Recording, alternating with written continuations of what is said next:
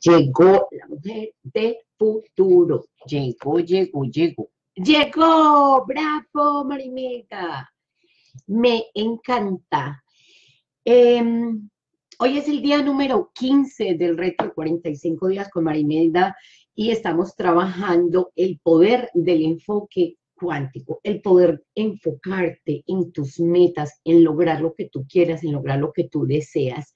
Y hoy vamos a trabajar. La mujer del futuro sabe que escucharse a sí misma. ¿Usted se escucha? A ver, cuénteme a ver. ¿Sí? La verdad, de verdad. ¿Usted se escucha? Usted guarda silencio y le hace caso a su corazón. Usted es, sabe, la mujer del futuro sabe que escucharse a sí misma la lleva a encontrar las respuestas desde su corazón. Bueno, vamos a ver si nos escuchamos. Eh, hola, ¿cómo estás? Hola, ¿cómo estás? ¿Quién hay por acá? ¿Quién hay por acá? ¿Quién hay por acá? Cuéntamelo todo. ¿Quién hay? Salúdame, dime hola, ¿cómo estás? Em, qué gusto saludarte, me encanta saludarte. Eh, voy a compartir en la biografía esto y voy a compartir en el grupo de Mundo Cuántico.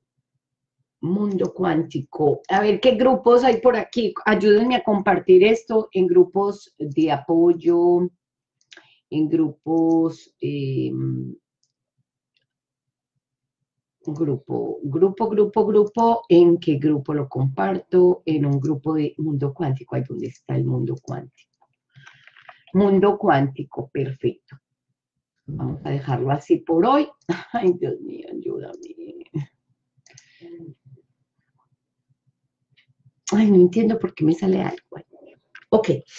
¿Cuál es ese poder que nosotros tenemos, el, el, poder del enfoque cuántico? ¿Cuál es ese, ese, ese poder que nosotras vamos a trabajar? Entonces, estamos teniendo claro, si yo me voy a enfocar, el enfoque es esta cámara, pero yo necesito tener unas metas y eh, a, hacer las metas, en el momento de nosotros hacer las metas, estamos haciendo este libro que se llama Lo que nadie te contó sobre las metas, porque resulta que las metas, al momento de hacerlas, existen unos errores. Y hoy vamos a ver el error número 5 que es precisamente no saber escucharte ni escuchar a los demás. Entonces vamos a, leer, vamos a leer em, eh, eh, lo que dice acá.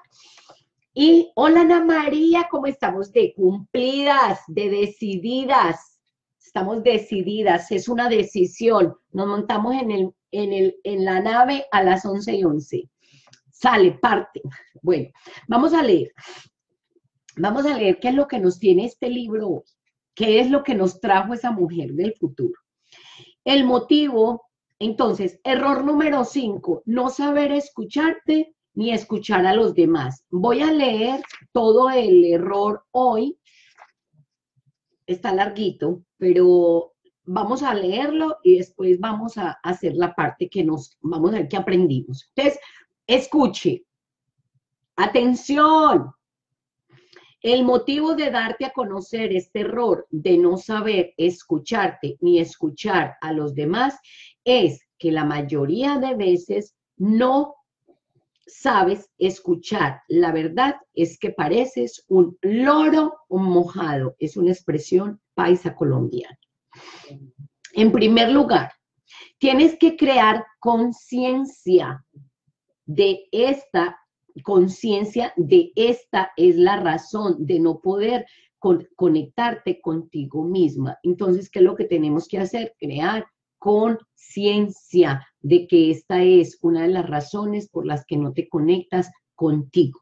Ahora bien, hay que insistir que esto pasa debido al constante bullicio que estás escuchando a tu alrededor.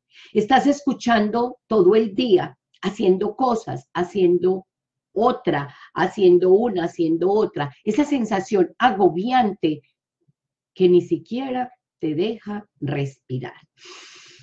Voy a respirar profundo.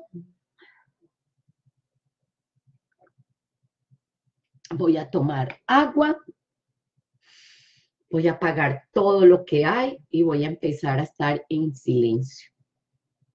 Si a eso añadimos, te encuentras muy atareado o mantienes con ansiedad, recuerdas que esto significa caer en el primer error, desperdiciando el tiempo y energía porque haces muchas cosas a la vez. ¿Se acuerdan del primer error? Muy. En pocas palabras, debes tener en cuenta que eres el único que debes saber a qué viniste a este mundo. Vuelve y juega a qué vine yo a este mundo.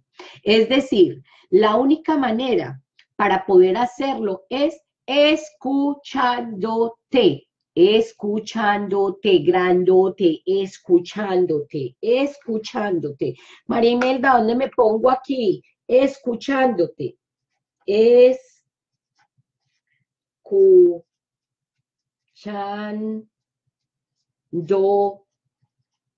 escuchándote. Lo voy a poner aquí grande, así como un ventanal. Las puertas están abiertas y aquí dice escuchándote. Y aquí hay una puerta abierta. Ya la vi, ya la vi, ya la vi, ya la vi, ya la vi, ya la vi, ya la vi. ¿Cómo se abre una puerta? Esa es una buena pregunta. Voy a mirar una puerta abierta. Eh, Ave María, en pocas palabras, debes tener en cuenta que eres el único que debes saber a qué viniste a este mundo. Es decir, la única manera para poder hacerlo es escuchándote. Mira que tiene dos orejas y una boca. Es que, la, es que Dios es perfecto. Nos hizo dos orejas y una boca. ¿Para qué son dos orejas? Si no es para escuchar, mi amor, escucharte. Y una oreja. Mira que tienes dos orejas y una boca. Escúchate. En el silencio encuentras las respuestas. Eso está bello y hermoso. Eso parece frase del libro. Así pues, que para poder escucharte, esto es lo que puedes hacer. O sea que nos, vamos, nos van a dar, ¿qué vamos a hacer? Tómate 10 minutos. 10 minutos. Oiga, solamente 10 minutos no más, no más 10 minutos. Tómate 10 minutos. Al principio va a ser difícil. Respira profundo, oye, respira profundo y pregúntate, ¿qué es? Entonces vamos a trabajar con la pregunta, ¿qué es? Entonces voy a preguntarme, ¿qué es? Esa es la pregunta que nos debemos de hacer. ¿Qué es? ¿Qué es? ¿Qué es? ¿Qué es lo que quiero? ¿Qué es lo que tengo para dar? ¿Qué es lo que tengo para dar? Eso me encanta. ¿Qué es lo que yo tengo para dar? ¿Qué es lo que tengo para dar? ¿Qué es? ¿A qué vine? ¿Cuál es mi propósito en esta vida? ¿Cuál es mi misión? Te aseguro que vas a encontrar la respuesta, pero antes debes hacer las preguntas correctas y te invito a que lo hagas ya. Las respuestas siempre llegan. Lo que sucede es que hay que formular las preguntas correctas.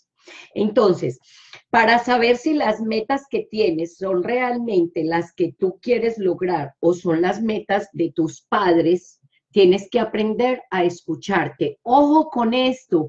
Muchas veces nosotros hacemos las metas de los padres y no nos damos cuenta y los padres influyen a, que nosotros tomemos las metas que a ellos no fueron a la universidad, ellos no estudiaron, ellos hicieron la vida de cuadritos y ahora quieren que nosotros los hijos hagamos los que ellos no hicieron. Mucho cuidado. Vuelvo y, vuelvo y, lo, y lo leo. Entonces, para saber si las metas que tienen son realmente las que tú quieres lograr o son las metas de tus padres. Mucho cuidado, a veces hacemos las metas de los padres y no hacemos las metas de nosotros.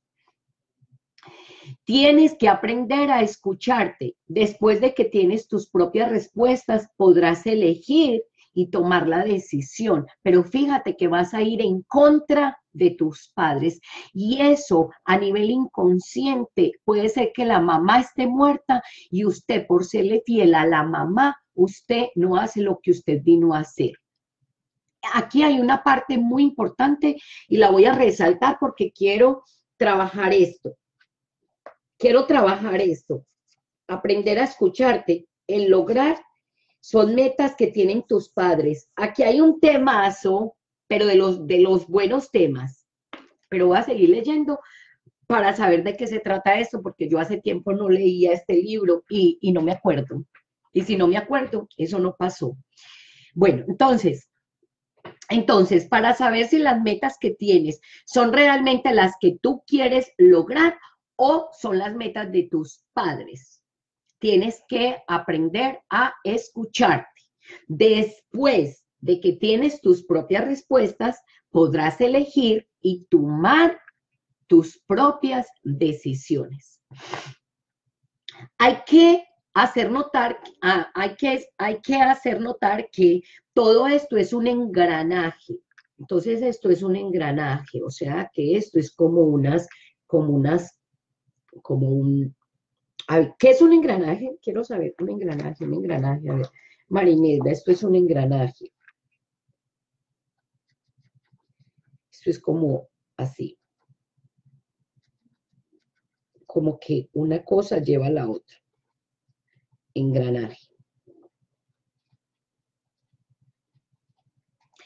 Hay que hacer notar que todo esto es un engranaje. Fuimos educados primero para obedecer, atacar y cumplir órdenes. O sea que volvemos otra vez a, al, al caballito Pecado mi caballito. Ay, qué cosa más hermosa. E, entonces, pegado de una silla, y sabiendo que él es un berraco. Ok, entonces hay que, hay que notar que fuimos educados, primero fuimos educados para obedecer, para acatar, para cumplir órdenes, haciendo lo que los demás nos digan. Ejemplo, mi madre me dijo, acuérdese que la mamá es, my God, si ustedes supieran lo influyente que es la mamá, si ustedes influyen, oh my God, es que la mamá, mi mamá me dijo, mi mamá me dijo, ¿qué te dijo tu mamá? y todavía le estás haciendo caso a tu mamá y tu mamá se murió hace 30 años y vos todavía le estás haciendo caso a tu mamá. Mucho cuidado. Esto hay que hablarlo. Mi madre me dijo que yo debía de, estudiar, ir a la universidad para poder hacer una carrera donde consiguiera trabajo rápido. ¿Qué es lo que nosotros hacemos? Nos enredamos porque vamos por esto rápido. Dinero rápido. Esa palabra es fundamental. Estas son palabras claves. Dinero rápido. Y entonces, si yo le digo, mujeres, vamos a hacer dinero rápido, en dos días ustedes serán millonarias, yo vendería muchos cursos. Pero ¿sabe qué? Me di cuenta que eso es mentira. La mentira más grande que nosotros compramos, lo rápido. Un bebé, ¿cuánto se demora? Nueve meses, mi amor. Espérenme un momentico que voy a seguir leyendo porque si no, no paro de hablar aquí porque parece que me, me van a soltar. Aquí me van a soltar. Mi madre me dijo que yo debía ir a estudiar a la universidad para hacer una carrera donde consiguiera trabajo rápido, trabajo rápido, trabajo rápido, ese rápido, rápido, rápido. Todo tiene que ser rápido. Trabajo rápido. Todo tiene que ser rápido. Y en esa época, pues lo más fácil para conseguir trabajo era ser auxiliar contable. En todas las empresas necesitaban auxiliares contables. Y mi propósito también conseguirme un trabajo. Entonces, mire la mentalidad mía hace 30 años. Conseguirme un trabajito. Pues tú no tan pobre. De Ituango, Antioquia. Conseguirme un trabajo. Eso era mucho para mí. Venida de un pueblo, montañera.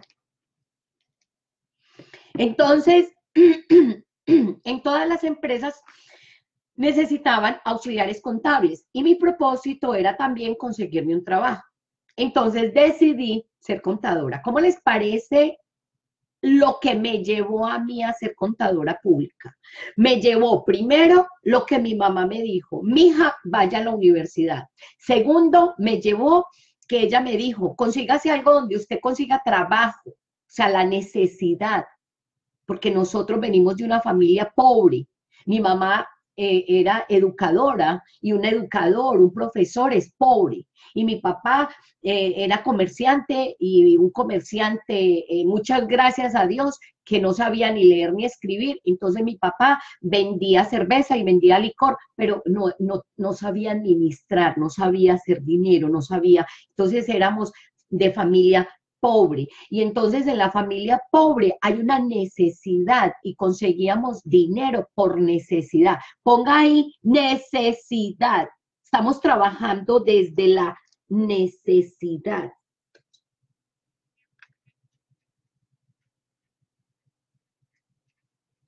Estamos trabajando desde la pobreza. Estamos trabajando rápido, rápido, ¿qué, rápido qué es? No, mira, espérate, ver, es que esto lo vamos a poner más rico. Solamente estoy escribiendo lo que voy a trabajar. Necesitaban auxiliares contables, mi propósito era también conseguirme un trabajo. Entonces, decidí ser contadora. O sea que yo decidí ser contadora por pobreza, por angustia, por ansiedad, por miedo. ¡Ah! Con razón, no, me, no era una contadora feliz.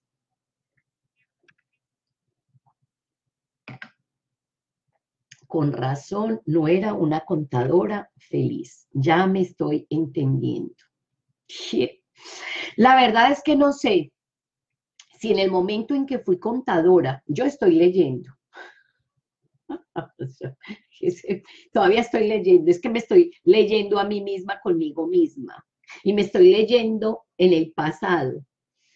La verdad es que no sé si en el momento en que fui contadora lo hice porque no tenía nada más que hacer y era donde conseguía trabajo más fácil. A consecuencia de esto, muchas personas hoy terminan la universidad y no saben escucharse. Aparte de eso, tienen todas las personas alrededor opinando sobre lo que deben hacer y lo que no deben hacer. Pobrecitos, yo no quiero tener volver a, yo no quiero tener otra vez 20 años. ¡Ay, qué pereza! ¡Qué pereza! ¡Qué mamera! Lo fundamental de esto es que te puedas escuchar y tú tengas tus propias respuestas, independientemente del papá, de la mamá, del mundo entero. Sí, sí que suena rebelde. Claro, es que somos productos de los paradigmas creados y de las falsas creencias. Oh my God. Entonces tú eres producto de qué? De una creencia. Tú eres producto de una creencia. Tú eres producto de una creencia. O sea que yo vengo con una creencia y esa parte la quiero entender. Soy producto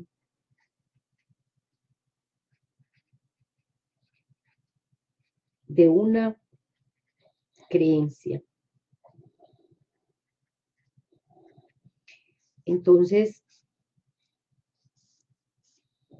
a ver si lo puedo entender. Yo voy a ir a, entendiendo esto.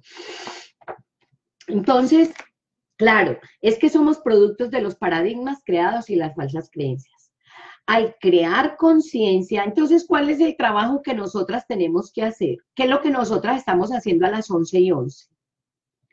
Estamos creando conciencia. O sea que las 11 y 11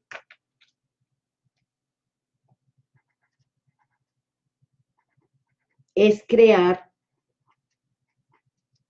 conciencia. O sea que ese es mi trabajo. Yo lo que estoy haciendo es un trabajo para crear conciencia.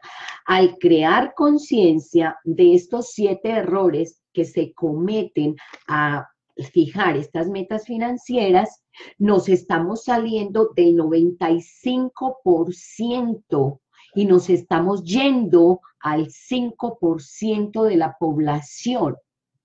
Estamos dejando de ser borregos. Entonces, no hay que sentirse mal, pues le estás haciendo caso a tu corazón. O sea que a nosotros nos educaron, ay no, ay no, a mí me da pesar, a mí me da tristeza. Y así estamos educando los niños ahora. Y así están los muchachos de 20 años ahora y yo tengo 50. O sea, eh, ¿qué, ¿qué, estamos haciendo, Dios mío? El éxito sucede cuando se trabaja para el propio bienestar. De eso estoy totalmente convencida. No eres exitoso si estás haciendo lo que los demás quieren. No eres exitoso si haces lo que el mundo dice. Eres exitoso cuando haces lo que tú quieres. Si estás haciendo lo que los demás quieren, no eres exitoso. Si haces lo que el mundo quiere, no eres exitoso. Eres exitoso cuando le hace caso a tu corazón y te escuchas. Personalmente, en este momento estoy haciendo lo que amo, ¿no? Pues sí, casi que no lo encuentra. Dedicando, dándote esta información. Oiga, pues, cambiando tu vida, transformando. Por eso tengo claro que uno de mis propósitos es ayudar y transformar la vida de otros. Y en este momento estoy cumpliendo mi misión. Me siento muy feliz. Recapitulando. Una manera de encontrar la solución a tu problema es que debes comenzar a escucharte guardando silencio simplemente. No tienes que hacer meditaciones raras, nada de meditaciones raras, usted simplemente tenga una libreta en todas partes de su casa y escriba las señales cuando llegue a la mente cualquier idea. Muchas ideas te pueden aparecer, aparecer. Aquí tengo un chisme. Chisme, chisme, chisme. Muchas ideas pueden aparecer.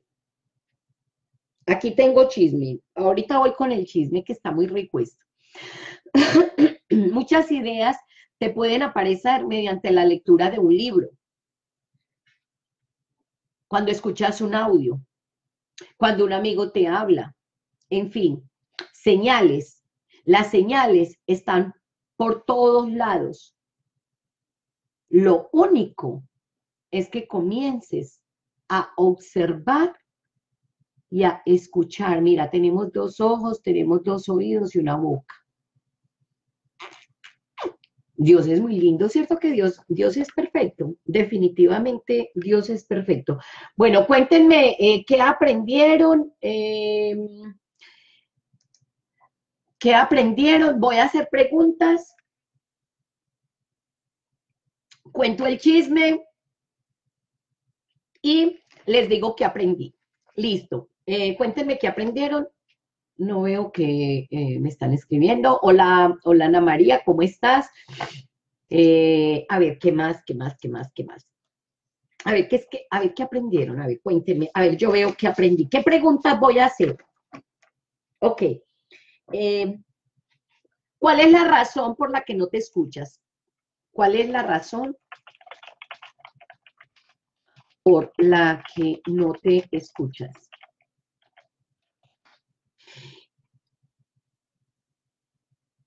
Debemos de ser pacientes. ¿Por qué? Lo que pasa es que, fíjate, fíjate una cosa, Luz, que me parece que es muy importante. Luz López, fíjate, fíjate algo importante. La, la creencia basada en la carencia.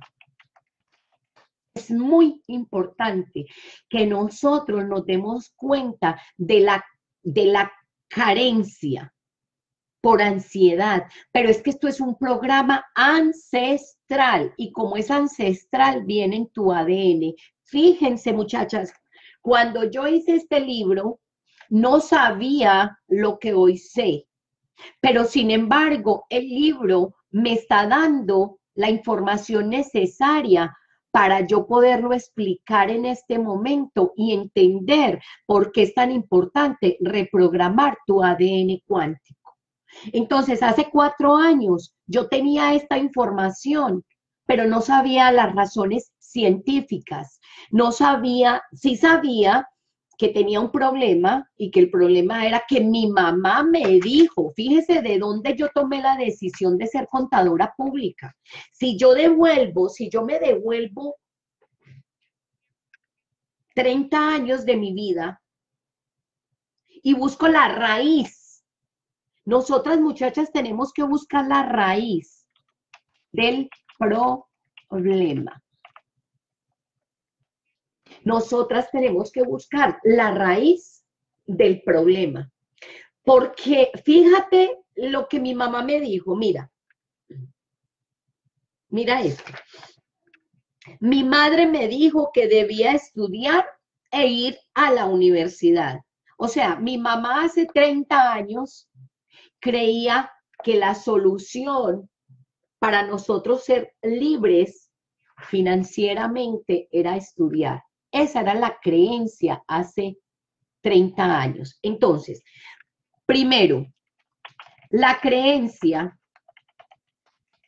el programa, eh, la raíz, la idea era que se tenía que estudiar para conseguir un trabajo. Esa era la idea. Eso fue lo que a mí me enseñaron. Es más, pero mi mamá ni siquiera cuando ella se graduó, eh, es que nosotros hemos ido evolucionando, nosotros hemos ido evolucionando. Entonces nosotros hemos ido evolucionando.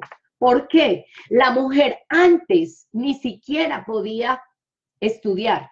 A una mujer no le enseñaban a leer ni a escribir. Mi abuela, esto vamos a, analizarlo desde la raíz del problema. Me está molestando un mosquito aquí. No me gustan los mosquitos. Me desenfoco fácilmente. Un mosco me desenfoca.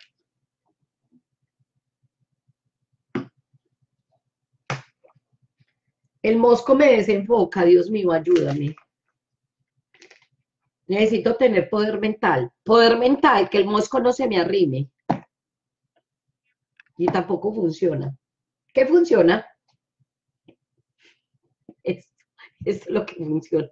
Mosquito. Chao, pues. No está fastidiando. ¿No me va a dejar concentrar o qué? Mi madre me dijo que no debía, que debía estudiar, ir a la universidad. Y miren la, miren la finalidad de mi mamá, para que con, consiguiera un trabajo. Imagínense la pobreza. Imagínense la pobreza en que nosotros vivimos. La pobreza pobreza. Pero, pero, pero, pero es que, es que esto tiene una historia y nosotros tenemos que entender nuestra historia. Y nosotros tenemos que entender, mi mamá, la vida que a ella le tocó, le tocó, ella, las mujeres, las abuelitas de nosotros no fueron a la escuela. A ella, a ellas, ellas ni siquiera sabían firmar.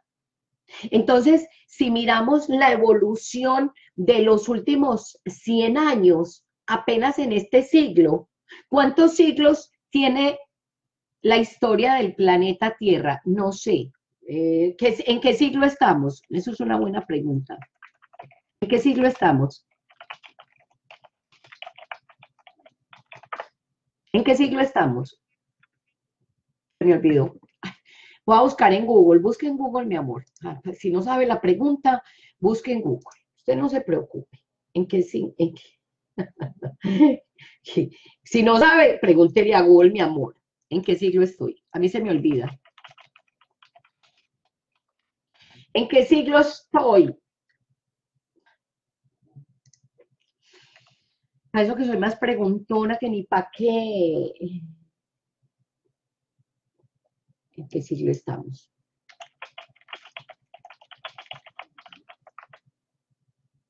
En el siglo XXI. ok, entonces vamos, vamos por partes. Estoy en el siglo XXI. ¿Listo?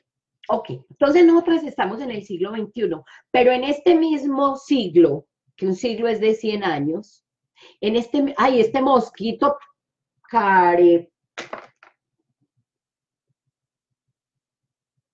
me molestan los moscos, porque yo me desenfoco fácilmente. Y este tema está muy interesante. La educación no se entera de que estamos en el siglo XXI. Esa es una buena palabra. La educación no se entera de que, de que estamos en el siglo XXI.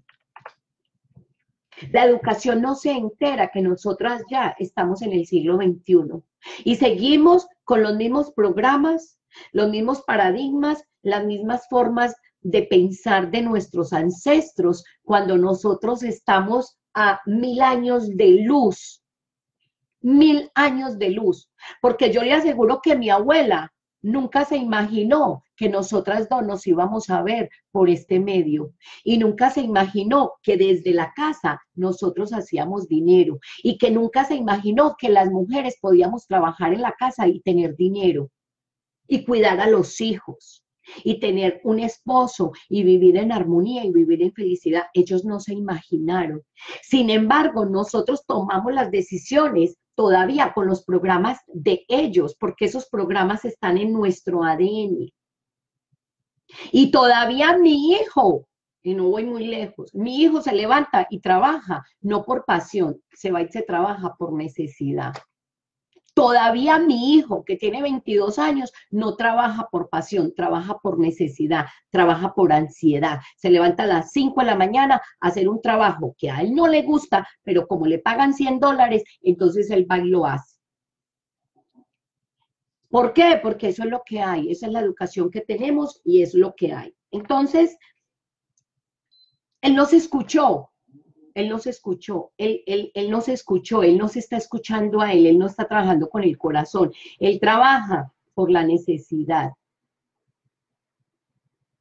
¿Hasta cuándo? No sé, hasta que algún día qué rico que me dijera, mami, venía, a, ver, eh, quiero entender un poquito la vida, pero bueno, cada uno tiene que vivir su propia experiencia. Entonces, vamos por partes. La educación no se entera de que estamos en el siglo XXI. Resulta que en este mismo siglo, mi abuelo nació en 1920 y en ese momento las mujeres no sabían ni leer ni escribir y mi papá, ni, mi abuelo tampoco sabía leer ni escribir y mi mamá fue en este siglo de las primeras mujeres que empezaron a trabajar y nos empezó a enseñar a leer y a escribir. Entonces, como ellos nosotros venimos de una evolución, nos dimos cuenta que una de las salidas de las mujeres era que aprendiéramos a leer y escribir y tuviéramos derecho a muchas cosas que en el siglo pasado no tenían derecho y que hoy todavía la mujer está por debajeada. ¿Hemos evolucionado? Sí, hemos evolucionado, pero tenemos que evolucionar más rápido porque la tecnología está avanzando más rápido y los programas de nosotros nos están llevando al letardo y entonces nos están llevando a la ansiedad, nos están llevando a la desesperación, nos están llevando a la depresión y eso nos llevó casi que momento trágico, a la muerte, a una vida sin sentido.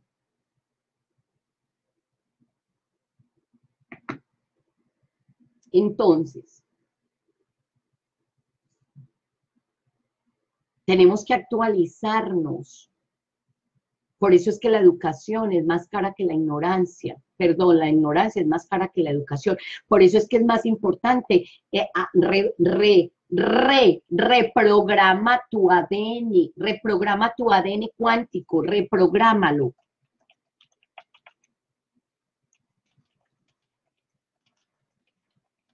Esto viene de una raíz de unos programas ancestrales viejos, la tecnología se ha actualizado, el mundo se ha actualizado y nosotros seguimos con el mismo programa de la abuela. Y seguimos con el mismo programa de los bisabuelos. Y tengo mucho calor.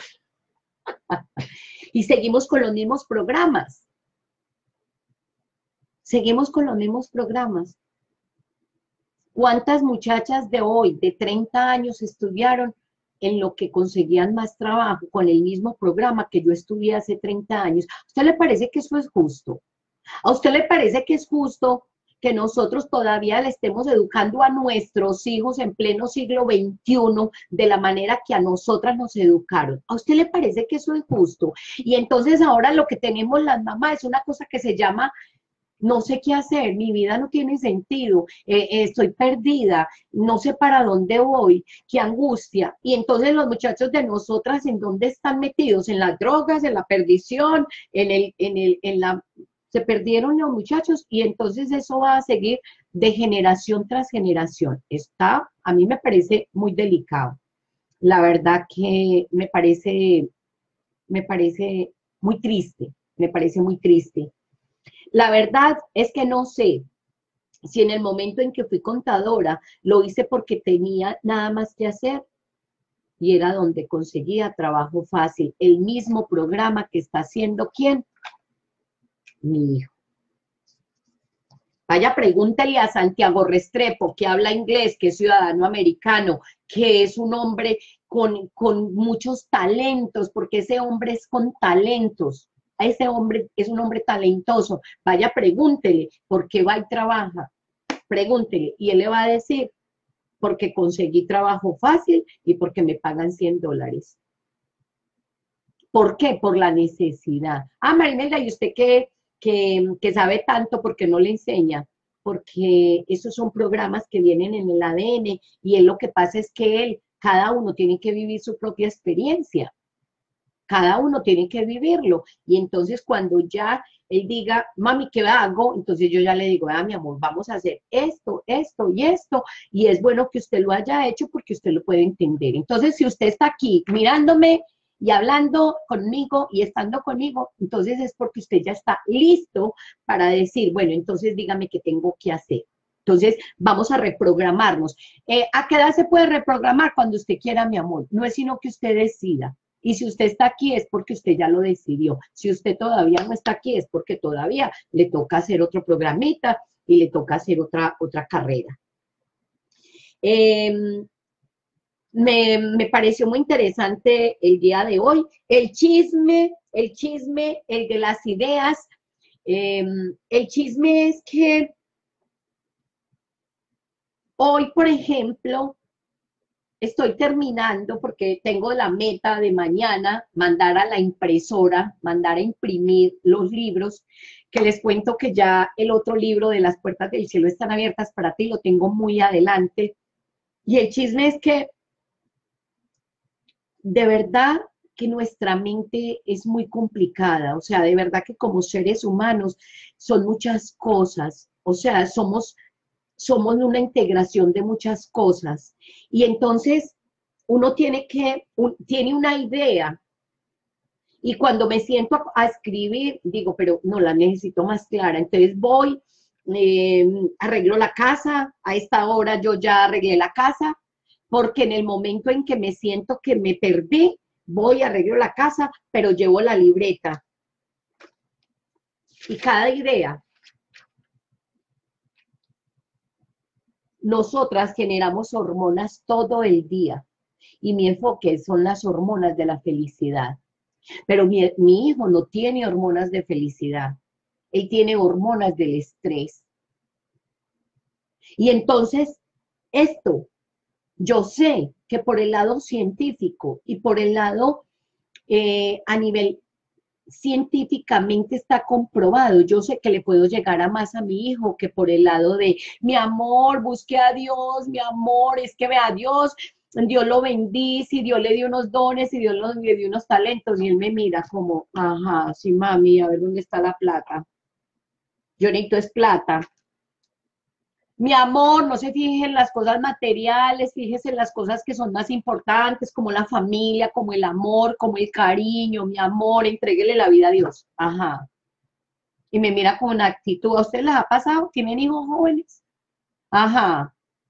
Como mi mamá lo que habla, pero ella no sabe lo que yo necesito. Entonces,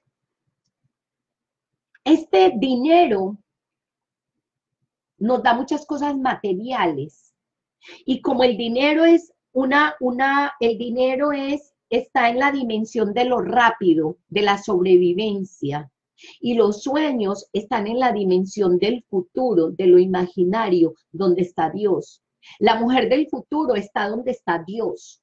O sea que usted mujer, usted Luz López, usted Ana María, usted Luisa, la mujer del futuro suya está donde está Dios, que es en lo imaginario. Y aquí, en la tierra, en el planeta, se necesita dinero. Entonces usted no sabe qué hacer, porque usted está en la mitad de las dos y usted dice, puta, ¿qué voy a hacer? Y le entra una cosa que se llama el estrés. Y entonces dice, necesito sobrevivir, sobrevivencia, me voy rápido y cuál, y me voy por el dinero. Y ahí fue donde usted se perdió, se puede perder 50 años, se puede perder 30 años, se puede perder 20 años o se puede perder toda una vida y se murió de estrés, de depresión, de angustia, de dolor, de tristeza, se suicidó, se mató, eh, eh, nada le resultó. Su vida fue un caos. Porque es que las hormonas de la felicidad esto, esto es todo un lío. Y el problema es que esto lo generamos nosotros todo el día. Yo soy adicta a las hormonas de la felicidad o a las hormonas del estrés.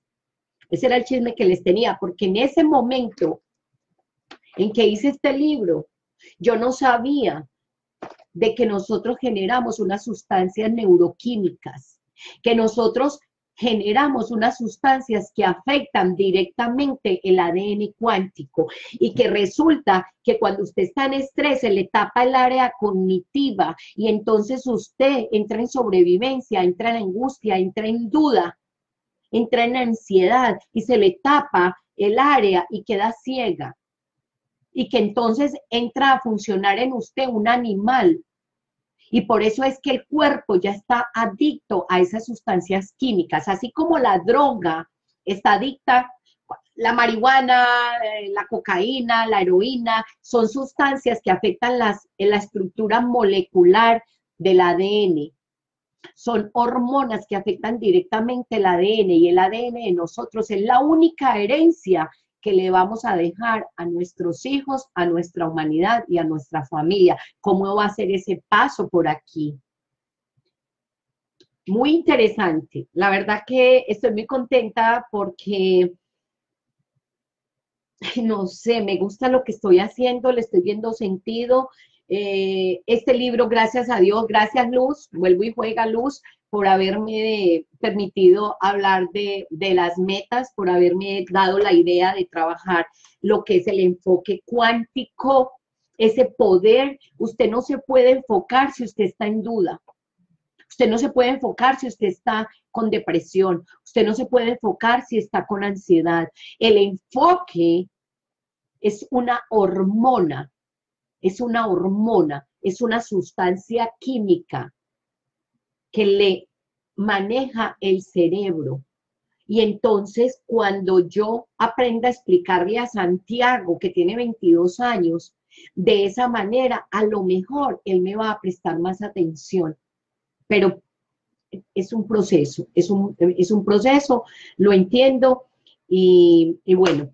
Eh, bueno, no, no me has escrito mucho, entonces yo ya termino por hoy. Mañana nos vemos. Eh, mañana vamos a continuar con este error, error, error, error, error.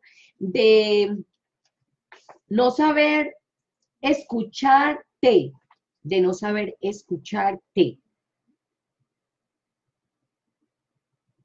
Bueno, en la próxima aprenderé más a escucharme. No tenemos, el mundo, eh, eh, el, Dios es sabio, nos hizo con dos orejas para que escucháramos, para que nos escucháramos. Bueno, hay una tarea, hay una tarea. Eh, bueno, hasta luego, que estén muy bien. Mañana nos vemos y continuamos con este tema que me parece que es supremamente interesante. Chao.